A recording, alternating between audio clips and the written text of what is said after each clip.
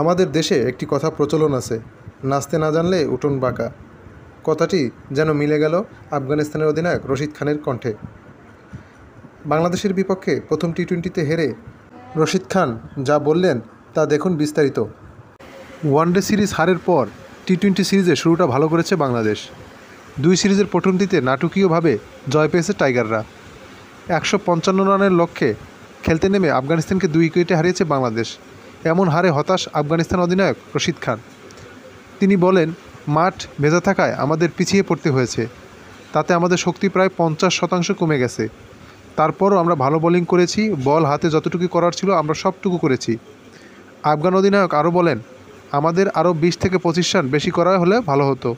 প্রথম সারির ব্যাটসম্যানরা একটু সাবধান হলে সেটি সম্ভব ছিল। এক পর্যায়ে মনে হয়েছিল রানটি যথেষ্ট আছে।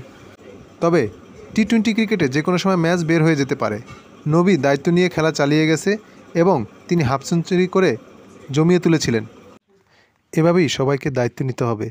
দুদলের মধ্যকার দ্বিতীয় এবং শেষ টি টোয়েন্টি ষোলো জুলাই একই মাঠে অনুষ্ঠিত হবে।